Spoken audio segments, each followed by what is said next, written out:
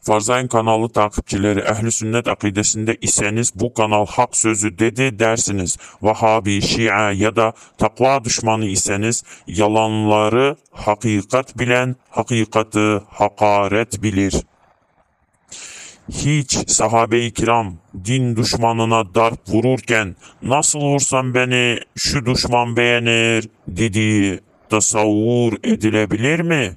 Hayır. Biz de hakikat düşmanı nasıl darp vursam beni beğenir diye düşünmüyoruz değil mi?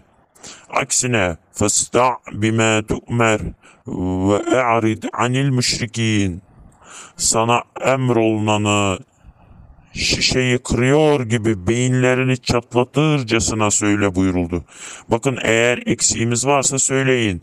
Pek çatlatmadı, daha sert vur deyin. Hayır, delilsiz konuşmuyorum. Nemrut işte kafasına sinek girdi, her ağrıdığında kafama kafama vur, daha sert vur diyordu. Sert vururlarsa daha sert vur diyordu. Siz de domuz kulu yediniz.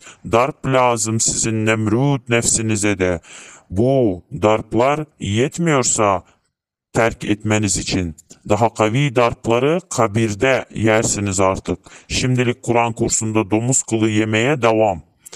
Bakın delilsiz konuşmuyorum. Ebul Faruk Süleyman Hilmi Tünahan Kaddesallahu Sırrahul Aziz Hazretleri benim evlatlarım mutmainneye çıkması vacip dünyada çıkmazlarsa kabirde sopa ile çıkartırlar buyurdu. Gördün mü nankör?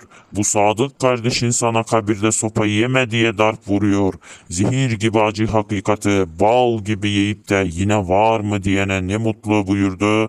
İmam-ı Rabbani Kaddesallahu Sırrahü Semedani Hazretleri.